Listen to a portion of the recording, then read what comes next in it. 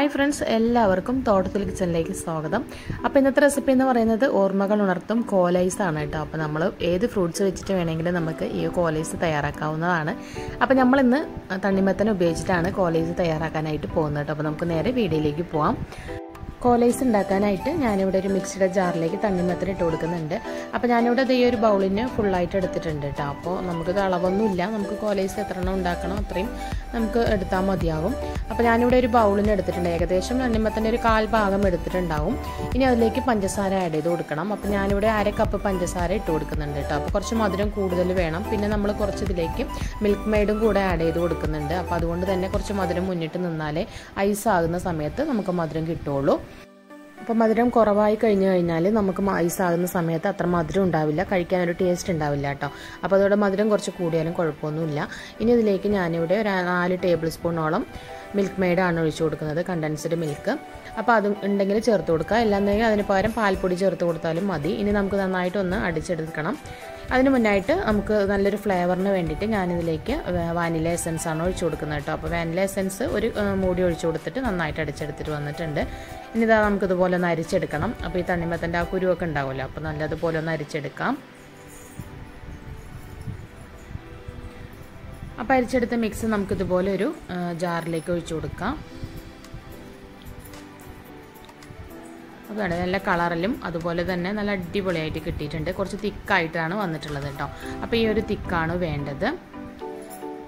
അപ്പോൾ ഞാനിതിലേക്ക് കുറച്ച് പാലും കൂടെ ഒഴിച്ചിട്ടാണ് അടിച്ചെടുത്തത് കേട്ടോ. അപ്പോൾ അത് വീഡിയോ കട്ടായി പോയതാണ്. ഏകദേശം ഒരു കപ്പോളം പാൽ ഞാനിതിലേക്ക് ഒഴിച്ചു കൊടുത്തിട്ടുണ്ട്.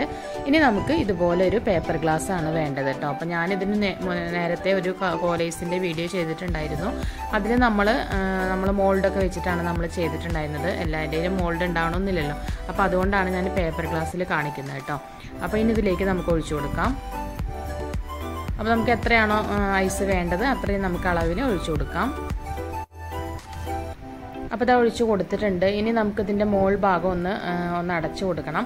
അപ്പോൾ അതിനായിട്ട് ഞാനിവിടെ എടുത്തിരിക്കുന്നത് അലുമിനിയം ഫോയിൽ പേപ്പറാണ് കേട്ടോ. അപ്പോൾ അത് നമുക്കിതിന്റെ മുകളിലായിട്ടൊന്ന് മൂടി കൊടുക്കണം. അപ്പോൾ അത് അതുപോലെ ഒന്ന് അടച്ചു കൊടുക്കാം. അപ്പോൾ വെള്ളവും ഇതൊന്നും വീഴാതിരിക്കാൻ വേണ്ടിയിട്ടാണ് കേട്ടോ അപ്പോൾ ഇതുപോലെ ചെയ്യുന്നത്. അപ്പോൾ എല്ലാം നമുക്കിതുപോലെ ചെയ്തെടുക്കാം.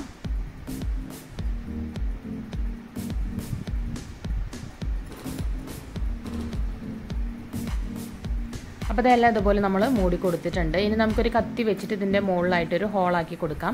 അപ്പോൾ നമ്മൾ സ്റ്റിക്ക് വെച്ച് കൊടുക്കാനായിട്ടാണ് കേട്ടോ. അപ്പോൾ നമ്മൾ മരത്തിന്റെ ഇതുപോലെ സ്റ്റിക്കാണ് നമ്മൾ ഐസ് ഐസൊക്കെ വാങ്ങിക്കുന്ന സമയത്ത് സ്റ്റിക്ക് കിട്ടുമല്ലോ. അപ്പോൾ അത് വേണമെങ്കിൽ വെച്ച് കൊടുക്കാം. ഞാനിപ്പോൾ പ്ലാസ്റ്റിക്കിന്റെ നമ്മുടെ മോൾഡിന്റെ ആ ഒരു സ്റ്റിക്കാണ് വെച്ച് കൊടുക്കുന്നത്. അപ്പോൾ ഇതിൽ ഓരോന്നായിട്ട് നമുക്കിതിലേക്ക് വെച്ച് കൊടുക്കാം. ഇനി ഇത് നമുക്കൊരു ആറു മണിക്കൂർ ഒന്ന് സെറ്റ് ചെയ്യാനായിട്ട് വെക്കണം. അപ്പോൾ അത് അതിന് ശേഷം നമുക്കൊന്ന് എടുത്ത് നോക്കാം കേട്ടോ. ഫ്രീസറിൽ വെക്കാം.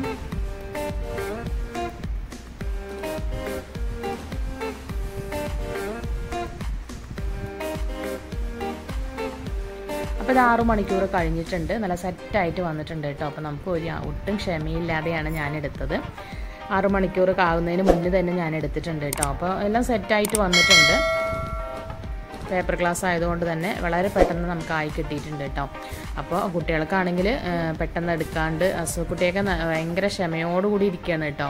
ആയോന്ന് വിചാരി പറഞ്ഞിട്ട്. അപ്പോൾ ഇതാ ആയിട്ടുണ്ട്. ഇനി നമുക്കിതൊക്കെ ഒന്ന് എടുത്ത് മാറ്റിയതിന് ശേഷം നമുക്ക് നോക്കാം. ഇതുണ്ടല്ലേ നല്ല കളറിലും നല്ല അടിപൊളി ഐസായിട്ട് കിട്ടിയിട്ടുണ്ട്. പണ്ടൊക്കെ നമ്മളിതുപോലെ സൈക്കിളിൽ വിൽക്കാൻ വരുന്ന സമയത്ത് കുറേ വാങ്ങിച്ച് കഴിച്ചിട്ടുണ്ട്. അപ്പോൾ ഇപ്പോഴാണ് നമുക്കിതിന്റെ ആ ഒരു ട്രിക്ക് മനസ്സിലായത് കേട്ടോ. അപ്പോൾ നല്ല അടിപൊളിയായിട്ട് തന്നെ നമുക്ക് വാങ്ങിച്ച് കഴിക്കുന്ന ആ ഒരു ടേസ്റ്റിൽ തന്നെ അതിനേക്കാളും ടേസ്റ്റ് ആണെന്ന് വേണമെങ്കിൽ പറയാം.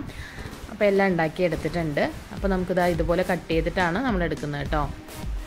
അപ്പോൾ കട്ട് ചെയ്യാതെ വേണമെങ്കിലും എടുക്കാം. ഒരു ഒരു മിനിറ്റൊക്കെ നമുക്ക് വെച്ച് കഴിഞ്ഞാൽ നമുക്ക് കട്ട് ചെയ്ത കട്ട് ചെയ്യാതെ തന്നെ കിട്ടും.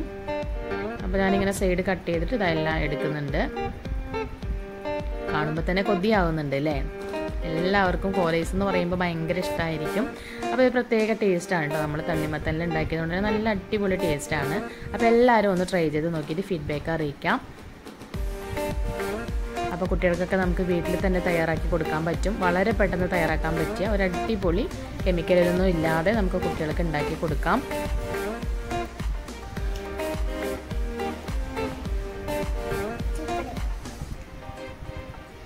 അപ്പൊ അസുഖക്കുട്ടി ക്ഷമയില്ലാതെ ഇതാ കഴിച്ചുകൊണ്ടിരിക്കുകയാണ് നസ്വ?